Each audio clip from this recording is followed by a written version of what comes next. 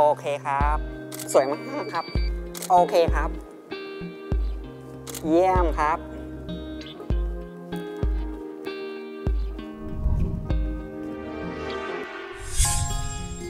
นี่นางแบบคนนี้เขาเป็นใครมาจากไหนอะนางแบบลูกครึ่ง นางอกหัก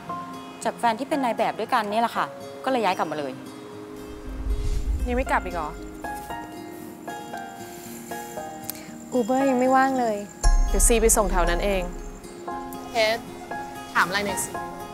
ก่อนหน้าที่จะคบผู้ชายอะเคยคบผู้หญิงบ้างปะจริงๆเราก็คบผู้หญิงมาตลอดนะ ผู้หญิงแบบไหนอะก็ผู้หญิงเหมือนดิวอะเป็นอย่างนั้นอยู่เป็นปีๆเลยล่ะค่ะ ถ้าไม่ใช่ว่าใครคนใดคนหนึ่งเกิดอยากจะมีลูกขึ้นมาอย่างจริงจัง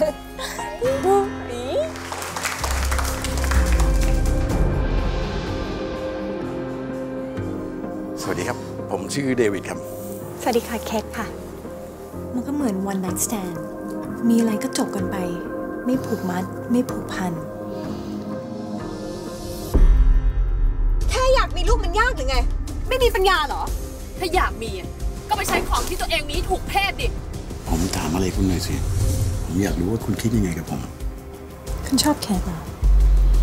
อยู่ใกล้มันนี่ดีดามากเลยนะ บทอะ ไอ้ทำทำไมยูก็รู้ รู้อยู่มันไม่เก็บอาการเลยอะ ดูอยากได้มันมากเลยนะให้มันมากเกินไปแล้วนะ ถ้าสมมติว่ามีคนให้คุณอุปการะรับเลี้ยงเด็กคนหนึ่งอือหือนี่คุณพยายามจะบอกอะไรผมหรือเปล่า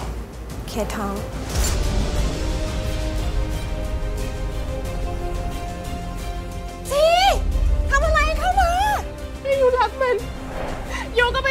ันไป